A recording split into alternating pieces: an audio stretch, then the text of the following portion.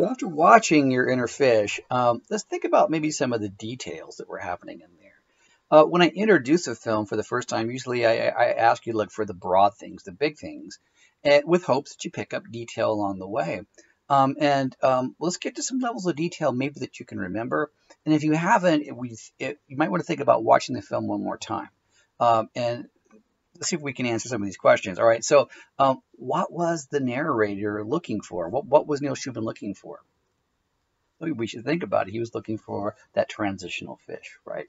Um, the first of the stegas to move from the freshwater fish uh, finally into the first uh, reptiles, right? At least the amphibians, making that online traffic journey. What job does Neil Shubin have?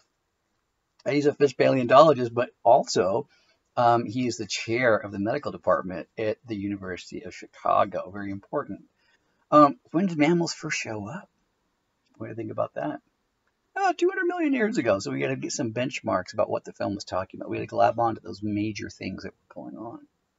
Know, even when you think about Sir Richard Owens, he was in the cartoon section. He was he was sort of focused on as this as this major uh, uh, um, anatomist, and he was. He was the one that collaborated actually with Darwin, and they had a love-hate relationship. I don't know if you remember that in Sir David in uh, Attenborough's film on, on Darwin, the Tree of Life. But uh, what was the first? He was the first uh, scientist to notice what skeleton pattern.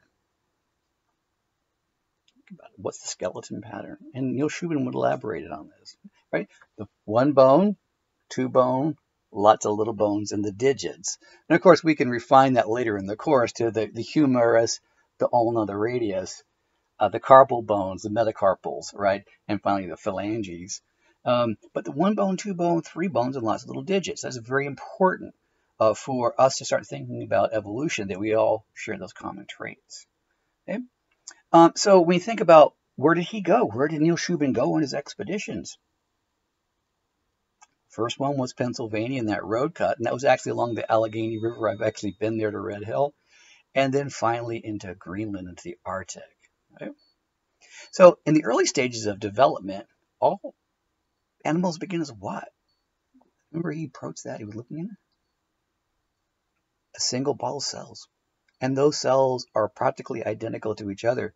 And, and that gives us information. That is actually a vestigial feature in its own uh, that um, we start out basically as the same thing, and then genes take over and begin to differentiate us as we become separate species. But that should also tell us something about the commonality of life. Okay. How about Molly? Remember Molly in the film? What does she possess? What was different about Molly? Remember the Richardsons? They went over to the Richardsons' house. Neil Shubin did, um, and then he met Molly, and then she had something right here on her ear with little holes in it, right? Those are the vestigial features, right? Those were the piths, right? There were our leftover gill slits that something had gone wrong in her development since she was an embryo. And old genes that were used for fish were actually turned on mistake, or they were altered slightly to express a different genetic pathway. And before she got too far into development, that began to expand as a gill. Then the right genes kicked in, turned it off, and she's left with that little feature, which means that the gill structures in fish, you know, correspond to uh, not only the ears but the nerves, right? That correspond to the ears and the nerve systems um, of, of, humans. And so make sure you sort of review that too to figure out, you know, what features in, in other animals feature prominently the ours that were displayed um, within that film. Those are the vestigial features. Okay. Uh, how about the fossily found Tiktaalik? So what does that mean, Tiktaalik? I think you mentioned that at the very end of the film when you found. Let's think about it. Tiktaalik. Tiktaalik. It means large freshwater fish, right? He allowed the Inuit people to develop their own name, and that's what we paleontologists do out of ultimately respect. You know, we find you know species that make our careers. You know, it, Neil Shubin became famous. That's why he was able to produce this video uh, because he found you know a species on someone else's tribal lands. So um, you know, because of that, we owe them some respect too. And one way in which we do that is we allow the people to actually develop their own name for it. And that's why that genus, remember it's a genus, uh, was labeled that. There are many different species of Tiktaalik. Remember the one he found was only like a meter long, but they found others up to nine feet long.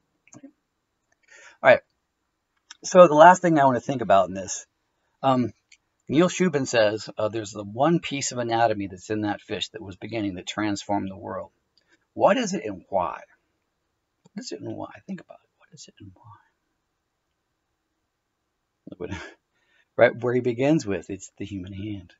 That's where it begins, and that's where we can see in Tiktaalik. And if there's anything, and I'll tell you right now, that makes us human, it's this hand. You see, without it, we'd be like a dolphin. I don't care how smart you think Flipper is. Flipper is going nowhere. He has no hands. He can't even build a sandcastle. Poor Flipper.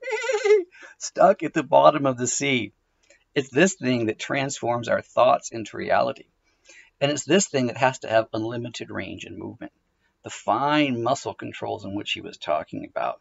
The fine muscles that anchor into our tendons here, right? The fine nerves and muscle that allow unbelievable fine control. And you're not going to see this like your dog and a cat. Could you imagine if you came home and you have a dog or cat and it, it stood up on its hind legs and goes like this, Hi, welcome home. Where the F have you been? I'm hungry. You know, if it was doing this to you, you would totally freak out, right? Like there's some, that, that, that thing's possessed, right? Now, this is something very unique to, to primates, right? Um, and it allows us to, to, make a limited number of things. Um, this up here is the result of this. And equally, this is the result of this. So we can think of a human and other organisms of not having a body and a mind which is separate, but we're integrated. You know, one is a body, integrated together in form and function. And one piece of the body, like the hand, can tell us a great deal about the other parts of the body too.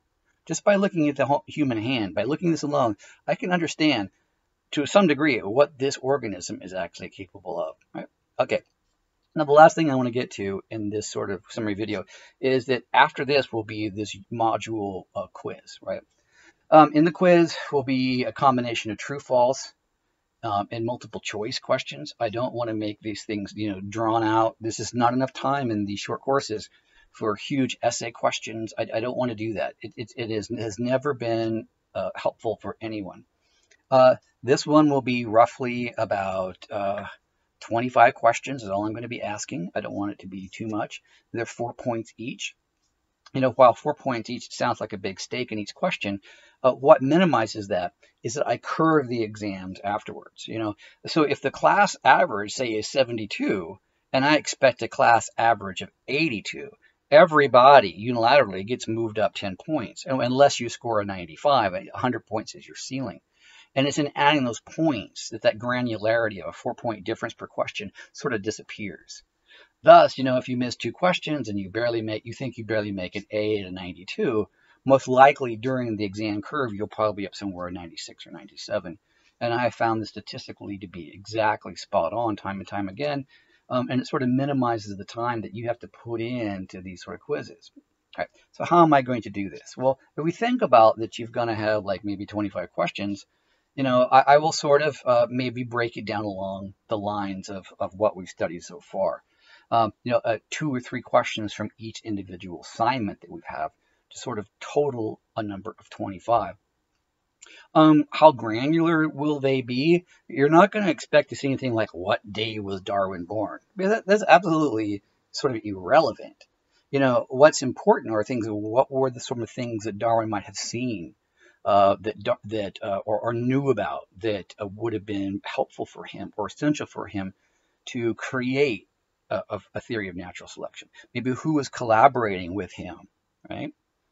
Um, additionally, what is natural selection? What are the tenets of natural selection? Perhaps where did Darwin go to visualize natural selection? Additionally, in science, what is science? What is a hypothesis? Uh, maybe you think about who are maybe some of the key players um, in the development of science and what were their contributions. Would you be able to pick out a contribution by a key player, you know, in a multiple choice pick list? Right? And finally, when we get to the geological section, we're going to think about, you know, what are the principles of geology? Who produced them? Um, and which of a list of ideas would be their ideas? So we can look at a contributor, which one of their ideas should be on this list or not. Uh, you know, questions like these. Um, these are the type of questions that aren't going to force you to go into the textbook. That textbook, again, is just for a reference to give you really deep level if you want to. I'm not going to be extrapolating anything that you haven't seen, you know, either in my lectures to you here, or in the videos I presented, or in the PowerPoints I put out. All right. So don't go fumbling through the textbook um, eh, uh, for for you know potential questions. I'm certainly not going to do that for you, and I think that that would be too much of a burden. And I really don't think you're going to get a whole lot more out of the course if you do this. Okay. So in the meantime, if you have any, you know, more refined questions, of course, just hit me up by email or by text or by voice. Even voice is probably even better. Uh, I can give you some more refined uh, sort of guidance on the exam if you need it at this point. Okay. All right. So uh, the exam should be uh, posted uh, fairly soon. Look for the date on that on the syllabus and make sure you take it on that date. Okay. I'll talk to everyone later. Bye.